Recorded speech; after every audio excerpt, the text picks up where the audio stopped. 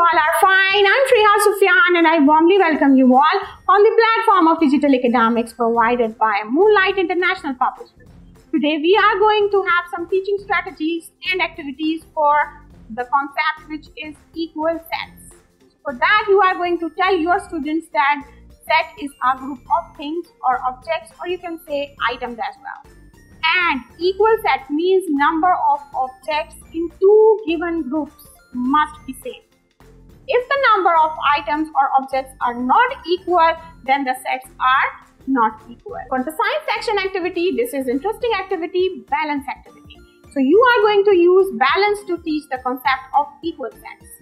Use a large marker and a piece of paper to write the equal symbol like this and attach it with the center of the beam. This one is the beam between these one two pans. These two are pans. Okay. So you are going to place this symbol over here like this. So right now what you are going to choose the middle one picture is showing you equal that the both pans are equal then they must look like this. Okay. If not equal then this must be like this or like this. Okay. You are getting my point.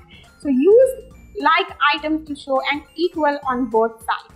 So the objects must have same numbers as well as their weight. For the engineering section, the teacher to make the wheel using the cardboard and thumbpins to revolve around the thumbpin.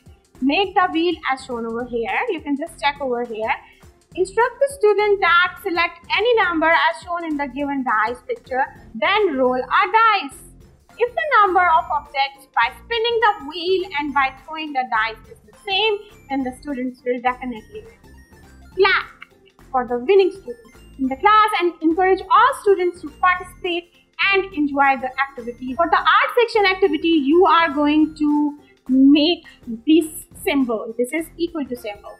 For this thing, you need a cardboard, craft sticks, white foam paper, googly eyes, push pin, and glue and glue gun. You are going to take scissors, white paper, and clean lamination for it and you are going to have this kind of equal to symbol and a board kind of thing on which you are going to place numbers on both sides.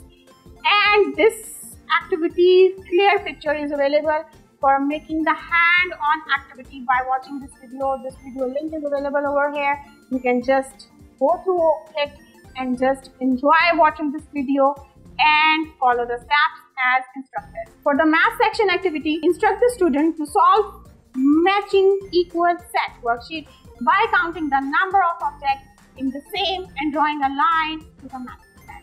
You can just download the worksheet from our official website from the resource section that is Math Activity Guide 3 Flyer. Hope you are going to implement these strategies in your classes. We'll get back to you with my next topic. Take care of yourself. Allah